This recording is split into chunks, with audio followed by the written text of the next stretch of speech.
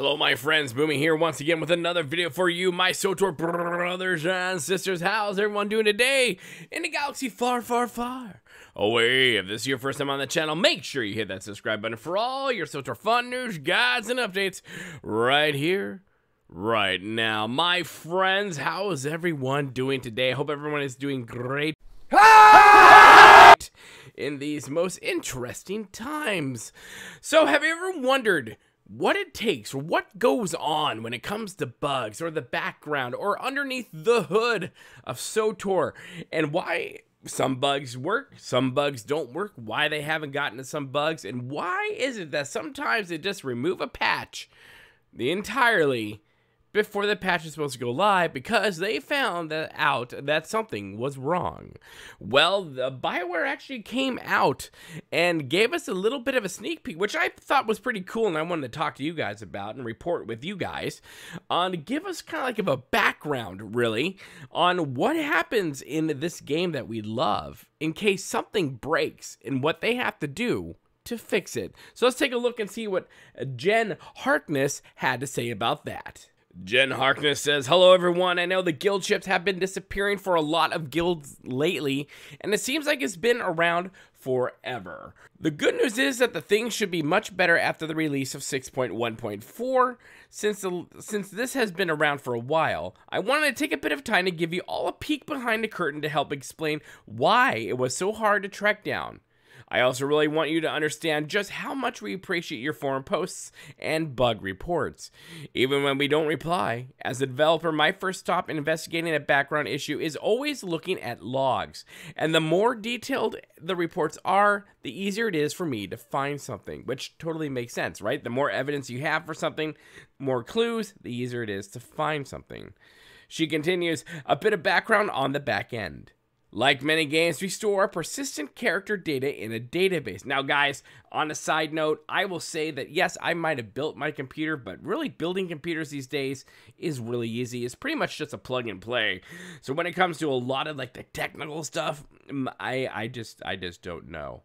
I mean, I, I, I can talk to you guys deeply about philosophy and psychology, but when it comes to this stuff, I'm like, uh, what? she continues To make updates faster, we have a cache layer between the game and the database that batches up updates. Then rewrite the batch to the database. The benefit we get better the benefit is we get better performance. But the drawback is that if there is one bad update in the batch, we abort the entire batch. Most of the time, the effect of aborting is that characters get kicked to character select, which isn't great, but is better than the data being corrupted.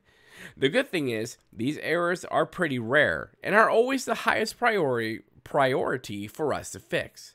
So why might we up well, I'm sorry, words are bad. So why might we update fa fail? Well, one of the nifty things you can do with a database is define a constraint on your data. That's that's a rule that can never be broken. Now the database is your last line of defense against something you're going wrong and your data getting corrupted. For this story, the important constraint is unique character names. If we try to write a batch of updates, and one of the characters in that update has the same name as someone else in the database, the batch gets aborted. I mean, I okay, I can sort of understand that one. I get that one. You know, the batch, the code, whatnot sees that it's, oh, there's something else with the other name. Well, we're to go wonky. At least that's what I'm to get from this.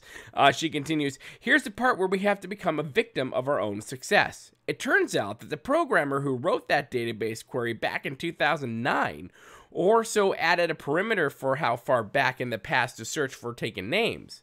He happened to put 3,000 for the default number of days. Yep, that's a bit over 8 years, and we launched a bit less than 9 years ago. It's a bit of it's a bit off because some data database maintenance we did the first year, but you get the point. So anyone who tried to rename a character with one of the names that was last played 8 plus years ago would have the rename look like it succeeds. But then the database says, "Uh-uh, not happening." Luckily, that was pretty that was a pretty easy fix. Just in case just increase the number. Although if we start having to rename issues in 2093, feel free to yell at me. If any of us are alive in 2093, I will let you shave off my beard. Okay, but why would this have anything to do with guild ships? Well, it turns out that sometimes the data that stores info on your guild ships was part of the batch that was being kicked off because of a bad rename. Yes, I know the guild ship problems have been happening for years, but that's because anytime we're having database errors, sometimes the guild ships are being caught in the crossfire. However, like I mentioned above, we're we always fix the database errors super quick. So before people would complain about guild ships, but then we couldn't reproduce it and they died down because we'd always fix the database error. Here's the good news. This time, it's really fixed. We've both fixed the rename error, and thanks to the guilds who have given super timely info, we were able to spot the guild ships getting caught in the crossfire. Now that we know what's going on, we were able to make it so that if the guild ship does get batched up with a bad batch, it will be automatically reloaded. So no more disappearing flagships even if we're even if we have database errors in the future. For reals this time, we hope. So, guys, I really hope this kind of gives you an idea of behind the scenes when it comes to developers, to code writers, and this stuff. Yes, we are always complaining about bugs here and there. That's one of the big constant complaints I see on the channel when it comes to, you know, uh, faults with the game, if you might say. Uh, but I, I really wanted you guys to see this report from Jen, and I wanted you guys to see that you know, a lot of times there's just stuff lost in the ether, there's stuff lost in translation, and you know, sometimes it just comes down literally as she used in this metaphor when it comes down to two character names coexisting, but they're not coexisting, and one thing doesn't like the other, and the whole thing fails. Uh, but there are bugs, yes, and some of these bugs come from things done a long time ago. And there are still trying to fix some of these bugs. And bugs, no matter what your game what game you are playing, bugs are always going to be a thing. And I really don't think when it comes to small bugs here and there should be a make or break point for people as long as the game is actually running, you know, pretty okay. I'm going to say a 95% on that one. But yeah, again, I wanted you guys to see um, this great article from Jen about what it takes for them and some of the things that they do behind the scenes, the background, underneath the hood of SWTOR. And I really hope this guy this helped you guys out a little bit on getting to know um, not only Jen, uh, but also what goes on behind the scenes when it comes to some stuff, especially when it comes to more of the more uh, difficult uh, things like code and whatnot in this game that we both play and we all love. So I really hope that was able to help you guys right there leave your comments in the comment section below. I'd love to read all the things you have to say. Make sure you hit the like button because your likes really do help the channel out quite a bit. And don't forget to share this as well. And if you really want to be part of this family, make sure you hit the subscribe button. Become part of the family here at Boomy Nation, the freak show of YouTube, the black sheep of gaming. And as always, my friends, remember to be kind. It's about community. And don't forget to spay new to your Wookiees.